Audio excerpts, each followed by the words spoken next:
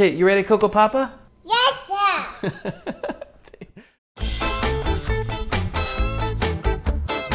Cooking is a life skill that I've always tried to instill in my little ones. And as far as I'm concerned, you're never too young to learn how to get your hands messy in the kitchen.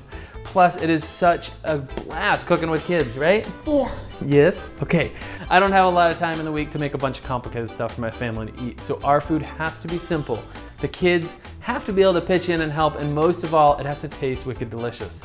In this class, we're gonna hang out with some of my favorite little people and show that cooking plants together helps feed their little brains and bodies and helps lay the foundation down early for good food memories, no matter how busy your life is. I mean, seriously, let's be honest, cooking on your own can be totally stressful for some. So, of course, things can get even crazier when you add kids to the mix. But you can always help build a healthy appreciation for food with your kids. So let's relax and chill out and get cooking wicked healthy food with kids. Come on, bud, you ready to do this? Yes. Yes, sir.